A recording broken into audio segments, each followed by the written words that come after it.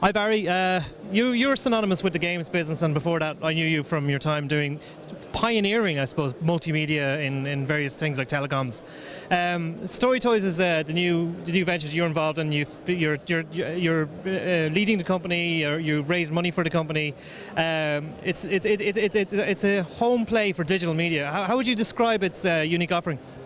We're, we're an interactive um, interactive toy publisher, effectively for, for children, uh, combining books and toys in the one product. Hence the Storytoys name. The company was actually founded by you remember my, my uh, myself and John Dennehy's venture, um, Upstart Games. So the so the two technical leads of that, Aidan and Kevin Doolan, brothers, started the company in 2008 as a game publisher, and then hit upon this idea of creating uh, an interactive book technology that would allow children to you know, both learn from uh, and, and enjoy the experience of, of reading books on interactive devices. So um, I got involved in, in, in 2010 as chairman. We raised some money from Enterprise Equity um, and, uh, and Leaf, uh, um, Leaf Investments and Enterprise Ireland um, late last year, and I came on board full time then. So.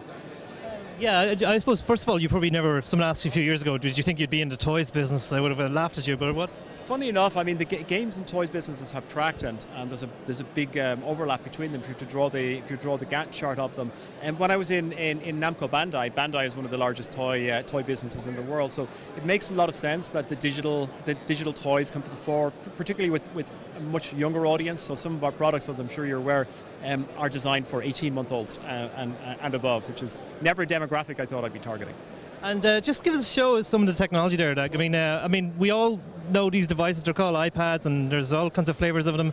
I, I, like, is this is this? I mean, you have an iPad there, but is this does this translate across uh, Android as well? Yeah, um, this product won't be out on Android for. Uh, for another uh, for another few weeks yet, but actually we, our products are currently available on the Samsung platform as well.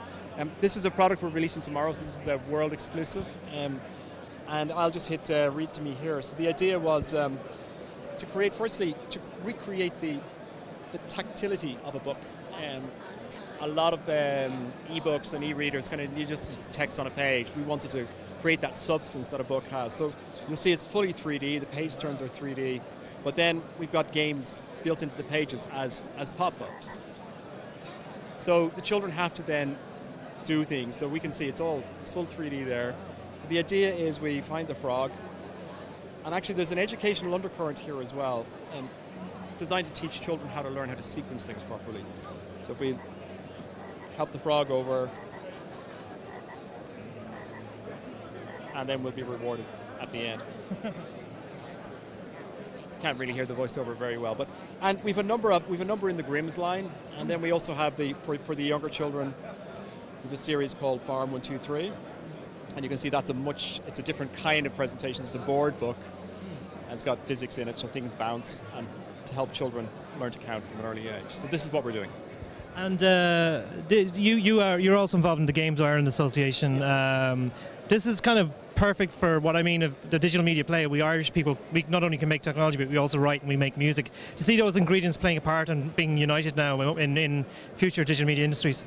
Yeah, I mean, absolutely. Games has always taken on taken on many components, and you know, our team is pretty much 50-50 creative uh, and technology.